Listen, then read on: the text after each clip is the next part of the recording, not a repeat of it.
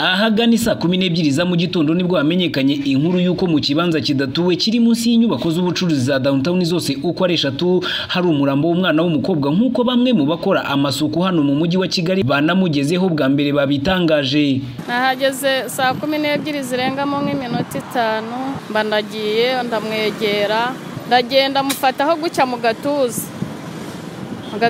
Mu gatuza numva harashyushye. Ndongera ngera guki ijisho ndarizamura nkoramo hagati mu jisho mbona nari guhumbya. Nuko ubwo mpita mpamagara mugenzi wanjye uyu nguyu ndamubwira ni ngwino urebe. Haraza nawe arareba aravuga ati mureke kumwegera nimwongere kumukoraho yapfuye.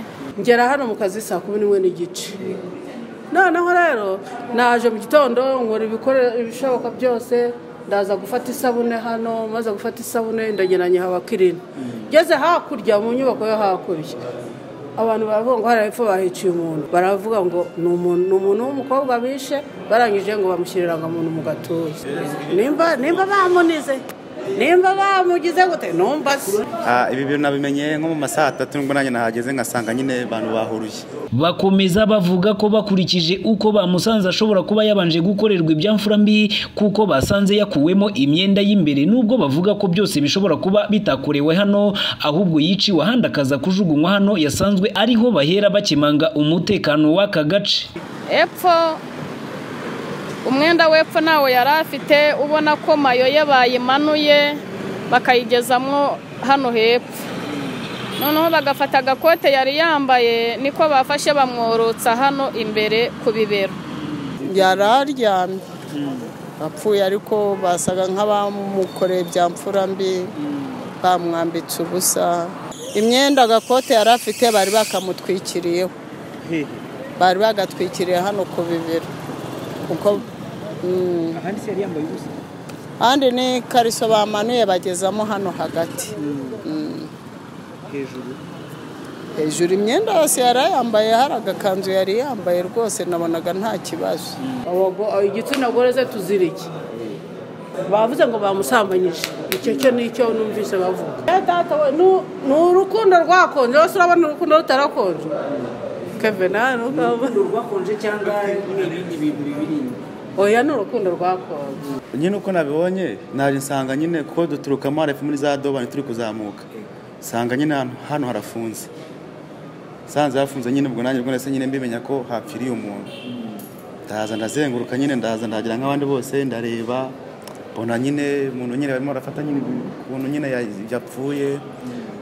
Gusa uko bigaragara hano si ahantu nk'uko bavuga ngo bamufashe ku ngufu nawe nyine uko uhabona ntabwo ari ahantu bafatira umuntu ku ngufu. Wenda simbivuze mbihamya cyangwa se nk'umuntu ubihagazeho bigaragara ko wagira ngo wenda bamuzanye hariya wenda yapfuye wenda. Kuko urabona ntabwo wajya gufata umuntu ku ngufu byerekewe no kumwica. Hano buri kanya habaca polisi irondo ry'umwuga mbese gutyo kuko ni umuntu ukunze kuva hano nko mu masaha atatu gutyo nyine mvuye nyine ntacyo ngiye mu kazi. Hano hantu haba hari umutekano byatari ntabwo hano wafatira umuntu ku ngufu ngo ujye no kumwica nibe biramenyekana. None mukeka ko yiciwe ahandi akazanwa? Eee ushobora kuba yiciwe ahandi akazanwa hano. Kuba umuntu yazanwa ahantu hafite umutekano abantu bakaza bagaparika imodoka bagakuramo umurambo bakawujugunya bakagenda ntawe babona uwo mutekano. Icyo ni cyo kibazo nyine. Ariko nyine urumva birimo urujijo kabisa birimo urujijo ariko ngewe nk'uko mbibona nyine ndabona aticiwe hano kabisa hanyuma ikintu nasaba ko impfu za hato na hato. Ni nk'uko wenda bajya bafata bano bantu nyine bona nyine badafite icyo bagendagenda amasaha y'ijoro bakabigaho. Murekatete patrice uyobora umurenge wa nyarugenge wari wanabereyemo ibi yirinze kugira byinshi atangaza haba no ku kibazo cy'umutekano abaturage bari bafitiye impungenge atubwira yuko ibisigaye byose twabibaza urwego rw'igihugu rw'ubugenzacyaha ribu usanzwe ntihagarariye hano? Na tami mu mubazi nawe agiye kuvugana na ribu twagerageje kuvugana n'umuvugizi wa ribu murangira Thierry gusa inshuro zose twamuhamagaye ku murongo wa telefone ntiyatwitabye ndetse n'ubutumwa bugufi twamuhaye haba kuri sms ndetse no kuri whatsapp ntiyadusubiza. Ubwo turaza kumenya andi makuru ku rupfu rw'uyu nyakwigendera tuzabigarukaho mu makuru yacu ataha ibarushimwe biwe kikeve christian btn tv i kigali.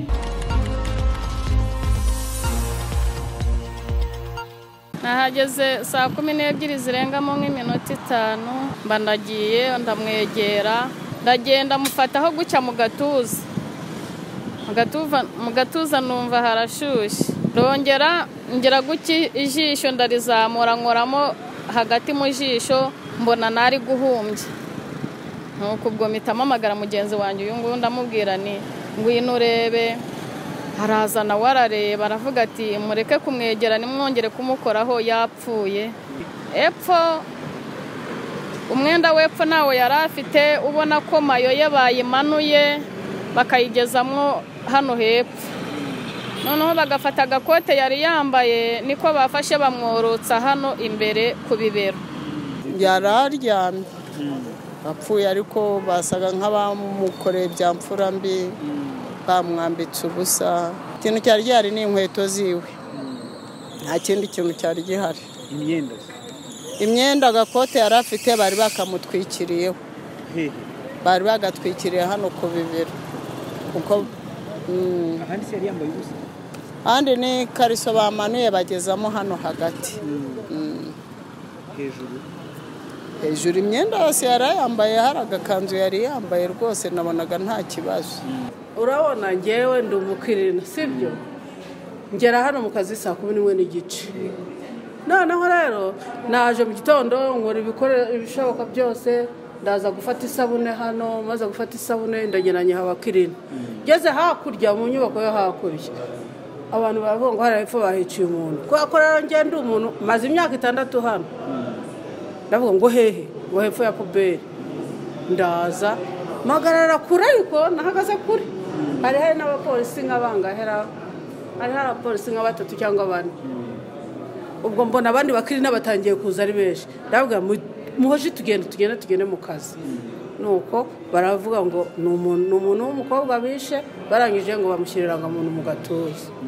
Nta kindi namenye ngo irangamuntu mu gatuza. Nimba ariye nimba ariye undi muntu. Nta kindi namenye nta kindi kintu bigeze bahasanga wenda nk'icyo ashobora kuba yakubiswe cyangwa n'ibindi? Yakubiswe?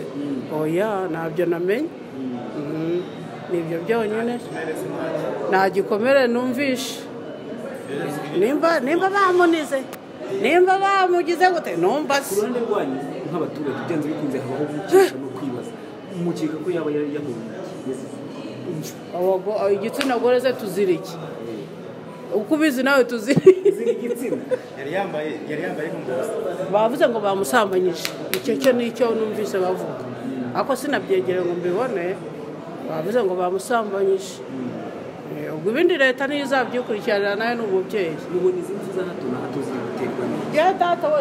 ni urukundo rwakonje. Wese urabona urukundo rutarakonje.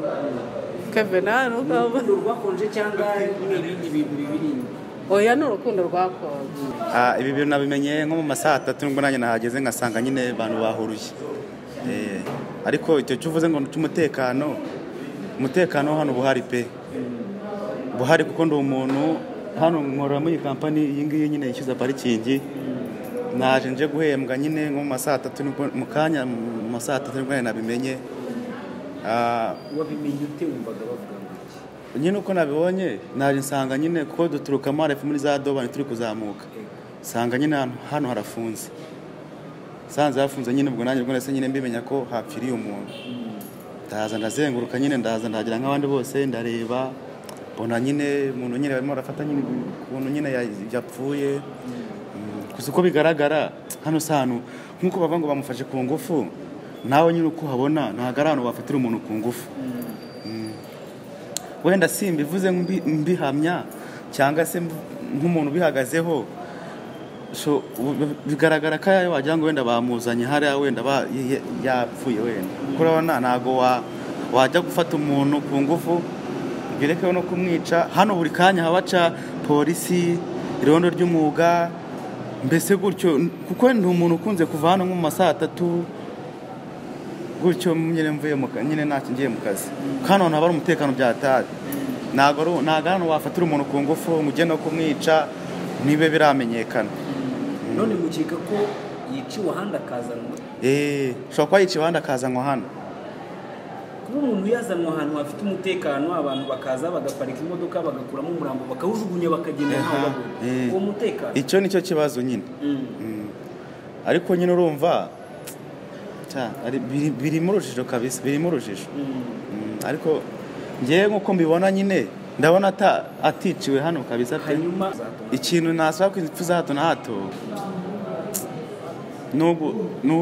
Ni nk'uko wenda ba bajya bafata bano bantu nyine bona nyine badafite icyo ba- ba- bagendagenda amasaha y'ijoro bakabigaho.